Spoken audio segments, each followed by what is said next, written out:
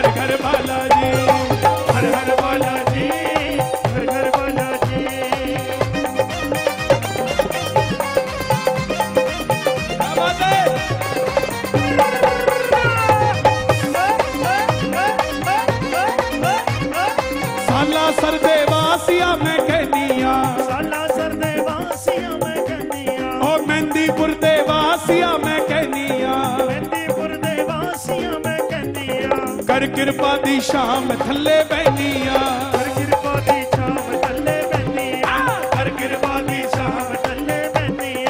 मेहंदीपुर दरबार गरीबों का हॉस्पिटल है और सालासर दरबार अमीरों का हॉस्पिटल है पूछो क्यों उस दरबार में अपने ऊपर से वार के प्रसाद घेर दिया जाता है और सालासर धाम में समामणि बोल बोल के काम करवा लिया जाता है। जैसा काम हो, वैसी बात बन जाती है। मेहंदीपुर कौन कौन गया है आप में से? ताली बजाना जरा भूतों के थानेदार के लिए। भूतों का थानेदार मेहंदीपुर में रहता। भूतों का थानेदार मेहंदीपुर में रहता, भूतों का थानेदार मेहंदीपुर में रहता, भूतों का थानेदार मेहंदीपुर में रहता, भूतों का थानेदार मेहंदीपुर में रहता। भूतों का थानेदार मेहंदीपुर में रहता, भूतों का थानेदार मेहंदीपुर में रहता। भक्तों की खाली झोली बैठा है वो भरता, भक्तों की खाली झोली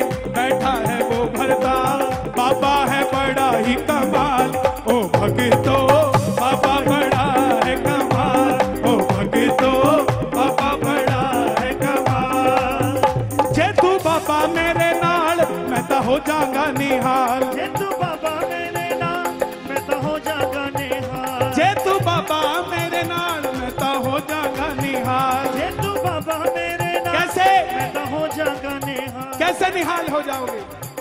जगराओ एक भगत ने अनाज की एक लाख बोरी गोडाउन में लगाई। जितना पैसा था सारा इन्वेस्ट कर दिया। और एक बोरी गेहूँ की स्विफ्ट गाड़ी में धर ली और बोला, साला सर लेके जाऊँगा, चूरमा बढ़वाऊँगा इसका। जगराओं से मौका नहीं पहुँचा था। वॉचमैन का फ़ोन आ गया, बाबूजी, वापस आ जाओ, गोडाउन में आग लग गई।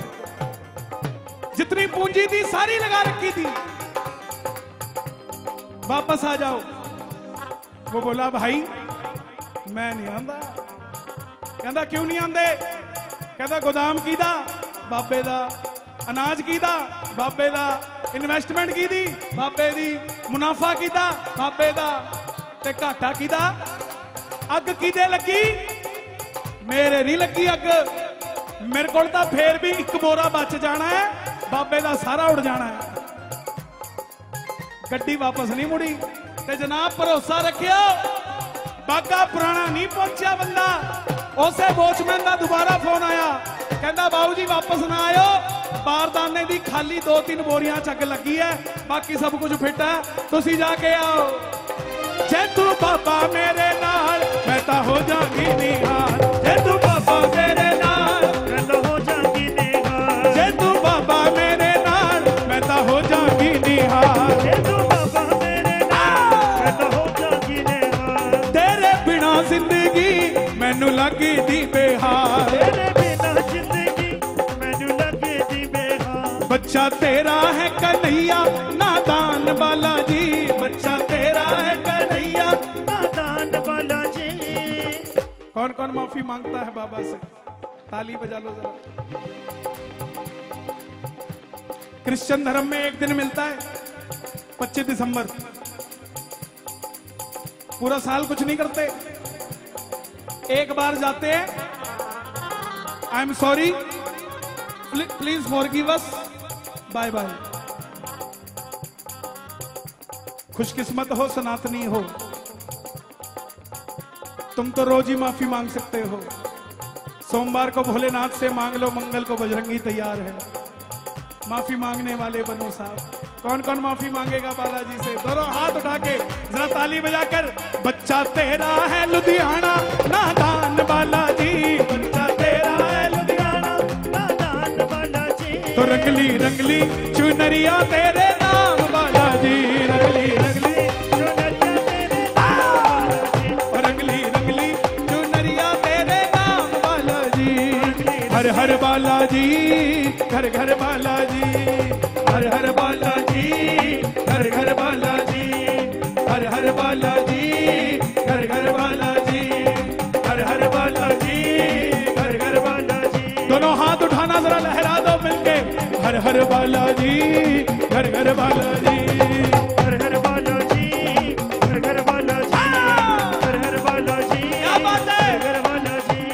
लहर लहर, लहराए रे। झंडा बजरंग बली का। लहर लहर, लहराए रे। झंडा बजरंग बली का। ओ बजरंग बली का झंडा बजरंग बली का। बजरंग बली का झंडा बजरंग बली का। भाई, बिट्टू साउंड थोड़ा ढोल खोलो। बिट्टू जी, ढोल खोलो। ओवरऑल साउंड खोलो थोड़ा।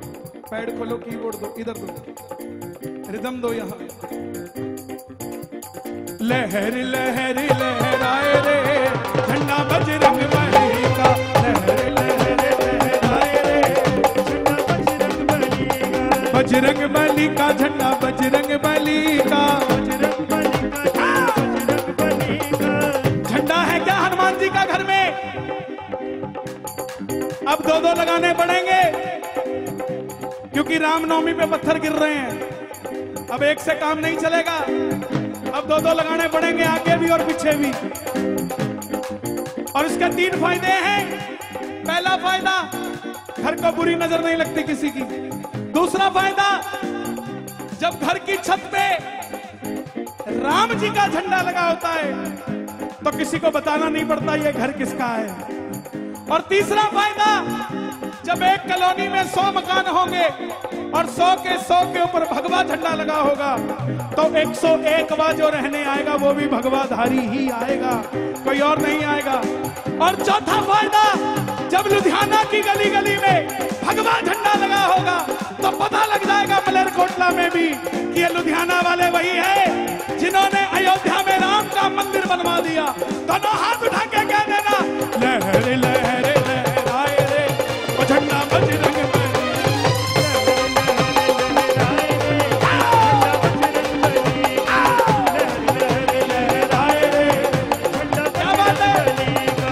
बजरंग बली का झंडा, बजरंग बली का।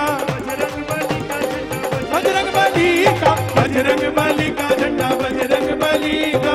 बजरंग बली का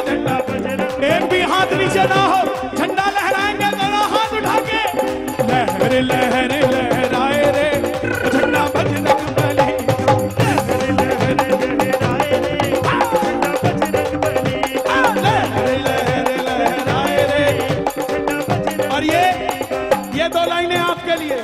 छम छम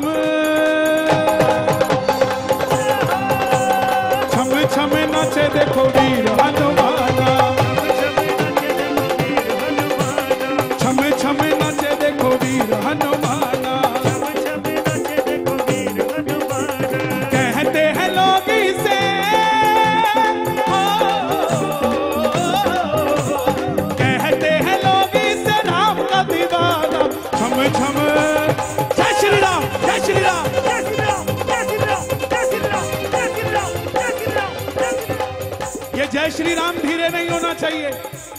यहाँ की दीवारों में इतना राम हो जाए कि घर में रहने वाले को आराम हो जाए।